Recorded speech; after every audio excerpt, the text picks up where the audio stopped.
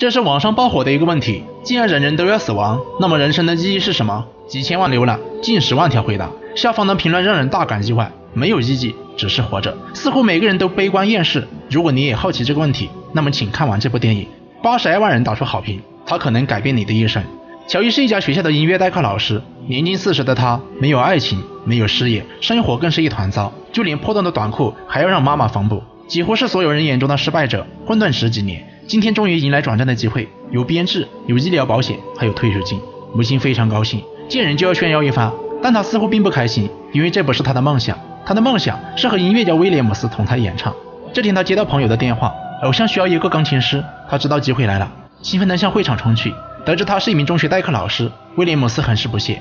但是乔伊凭借其惊人的天赋和扎实的功底，踩着萨克斯就能弹奏起来，完全临场发挥。他精湛的记忆和应变能力让偶像刮目相看，立即决定让他加入乐队。乔伊太惊喜了，即将结束人生的蛰伏期，梦想很快就要实现了。可老话说得好，天狂必有雨，人狂必有祸。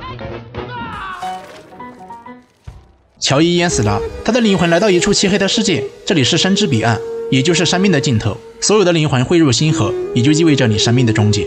乔伊不能接受这一切，他的梦想才刚刚开始，人生还没有过成想要的样子，怎么就要结束了？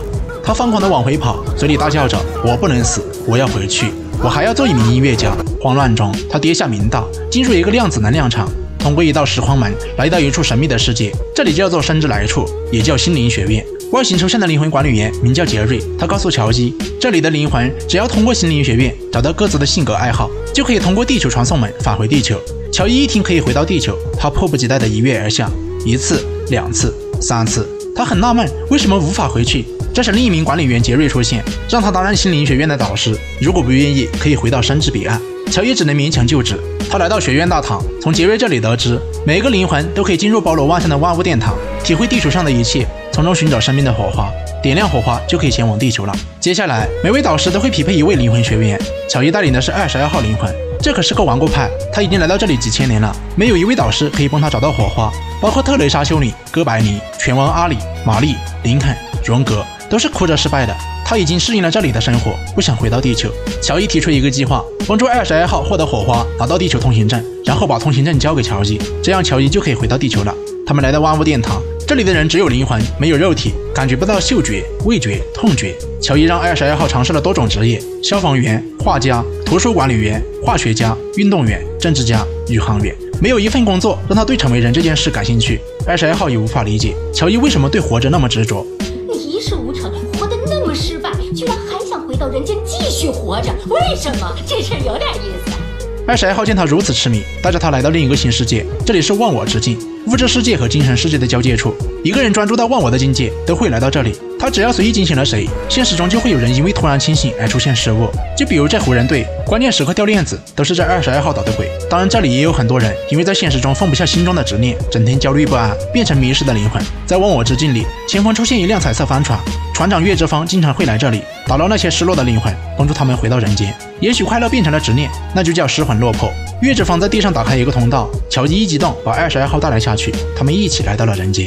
乱了乱了，他死而复生，却灵魂颠倒。别人的灵魂进入了他的身体，他的灵魂进入了猫的身体，而猫的灵魂去往了生之彼岸。乔伊祈求机身救救他，可是机身只能听到喵喵叫。唯一的办法只有找到月之方，帮助他们换回灵魂。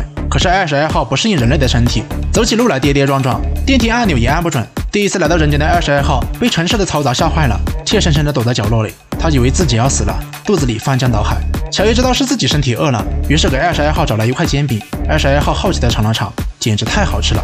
这东西好像还不错。二十二号开始对地球感兴趣。他们找到月之方，让他帮忙调换灵魂，因为乔基必须在七点参加演唱会。但是月之方告诉乔基，仪式的时间是六点半，中途的半个小时，他打算先回家做准备。打车时刚好被乐团的威廉姆斯看到，他这肮脏邋遢的样子让威廉姆斯厌恶。他们才到家就接到电话，乔伊被乐队开除了。他决定立马去抢回机会，没有人可以阻止他的梦想。二十二号也决定好好体验一下。他穿上西装，准备再整理一下发型，可一不小心就成了开山之作。乔伊决定去找好友拯救发型。他们来到发店，二十二号要了一个棒棒糖塞在嘴里，一边理发一边和在场的人畅聊哲学。人总是要死的，干嘛那么费劲活着呢？听得大家津津有味。毕竟乔伊的身体里是一个几千年的灵魂。而且还有，大家都说天生我材必有用，可你怎么知道自己生来有什么用？而且万一你也不是那块料呢？老大也说，他当初没想当理发师，本来是想当兽医的，可阴差阳错当了海军。退役了想去学医学的时候，女儿又病了，学习理发便宜点，就去学了理发。现在反倒挺开心的。不是所有人都适合治病救人。乔伊似乎若有所思。临别时，老戴很高兴，因为乔伊不像以前一样只会聊音乐。乔伊也意识到，这个认识多年的老朋友竟然是第一次了解他的生活，显得有些惭愧。二十二号灵魂似乎开始感受到地球的火花，在店门口搞怪，让栏杆发出声响，在通风口让衣服飘扬。原来成为生命确实有些意思。他去捡帽子的时候。你是对的，裤子真的变松了。啊不不不不，你的屁股露出来了。距离转移灵魂的时间快到了，他只能带着二十二号去找母亲。去的路上，二十二号看着吉他小哥，心里说不出的喜欢，于是把饼干分了他一块。乔伊在地铁上抱怨，坐地铁又臭又热又拥挤，看着这些低头族就特别压抑。幸运的是，今晚站上舞台，实现梦想，就再也不会有这样的烦恼了。乔伊来到母亲的采访店，母亲抱怨他为什么放着阿稳的工作不去做，非要折腾去演出。也许父母永远无法理解孩子的梦想，也或许只希望孩子简单快乐。他四十岁的身体里有着一个千年的灵魂，可他每次裤子破了，还是要找母亲。母亲希望他不要那么幼稚，不要整天想着参加音乐会，能安安稳稳的工作。乔伊也借着千年的灵魂说出了心里话：孩子很多时候无法向父母坦诚，因为孩子做什么得到的都是反对。乔伊心里只有对音乐的热忱。我只害怕，如果我今天死掉。我就会这样一事无成，过完这一生。这是乔伊第一次敞开心扉和母亲说话，母亲也终于理解了乔伊的内心。至少比起稳定的工作，乔伊在追求梦想的路上是快乐的。他让乔伊穿上父亲的高级礼服，他们提前到达了音乐会门口，坐在台阶上。他身体里的二十二号开始陷入思索，看到牵着小手的父亲，闲谈的闺蜜，风中的落叶，他在用心感受地球的一切。我总说生活没意思，不过，你看，我发现了这么多东西。你妈妈就是用这个小可爱帮你改好了衣服。我紧张的时候，老戴给了我这个。地铁上有个人大声吼我，吓坏我了。不过，害怕的感觉也很奇妙。是乔伊让他知道什么是有目标、有热情。他开始喜欢上世界的一切。也许看天空是我的火花，或者走路。我现在很擅长走路。对于乔伊来说，这只是平庸的活着。所有人几乎发现不了其中的美好。他们约定好交换灵魂的时间到了，月之方正要开启仪式。可二十二号反悔了，他要留在地球上寻找自己的火花。而此时，星界里深知彼岸的管理员发现了灵魂数量不对，他来到人间，把乔伊和二十二号带回去。他们惊奇地发现，二十二号的火花被点燃了，他拿到了去往地球的通行证，这真是奇迹！乔伊完成了几千年来无人完成的壮举，虽然他不知道自己是如何完成的，二十二号也不确定是什么点亮了他的火花。就在他前往地球的时候，他意识到是乔伊的身体让他找到了火花，点亮了通行证。按照之前的约定，他把通行证给了乔伊。乔伊复活了，他飞奔来到音乐会，他再次找到威廉姆斯。凭什么用你？我活在世上唯一的追求就是演奏音乐，我生下来就是为了弹琴，无论什么都不能阻止我。他很确定，钢琴就是他生命的火花。威廉姆斯被打动了，乔伊再次获得机会，他的演出获得了前所未有的成功。所有人为他热烈鼓掌，可是实现理想的乔伊看起来没有那么开心。威廉姆斯讲了一个故事：以前有一条小鱼对老鱼说，他想找到一种叫大海的东西。老鱼说：“大海，你就在海里呀。”小鱼很惊讶：“这个，这只是水，我想找到的是大海。”人生就是这样，你获得理想的感觉，其实你早就拥有，只是你不曾体会它的存在，一心以为只有理想可以。乔伊陷入沉思，看着沧桑的自己，看着疲惫忙碌、各自刷着手机的人，这么多年在追求梦想的路上，并未获得多少快乐，反倒失去了不少。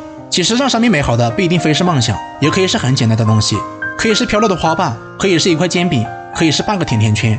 如果生命的火花只是遥不可及的梦想，那么树上间落下来的温暖阳光算什么？夜空下那璀璨的烟花算什么？那陪伴我们老去的亲人算什么？拂过脚面的清凉海水又算什么？不正是这些让我们温暖的东西组成了生命的本身吗？不正是这些不起眼的东西构成了宇宙万物的本源吗？这时，乔伊想起二十二号，他来到忘我之境，找到月之风。月之风告诉他，二十二号自从地球回来，就变成了迷失的灵魂。乔伊找到他后，他并不想去往地球，因为乔伊之前说过的话深深伤害了他。这不是人生目标，笨蛋，这只是平庸的活着。你拿到徽章，只是因为你在我的身体里。乔伊把一片花瓣放在他手中，二十二号似乎又被火花点燃。乔伊把通行证还给二十二号，这一次轮到他了。送走二十二号，乔伊的灵魂要去往山之彼岸。也就是死亡，他没有畏惧，至少二十二号不曾拥有的，他都拥有过了。这时候，心灵学院的杰瑞出现，他表示在这次事件中深受启发，决定再给乔伊一次生的机会。乔伊终于获得了由内而外的新生。现在你知道生命的意义是什么了吗？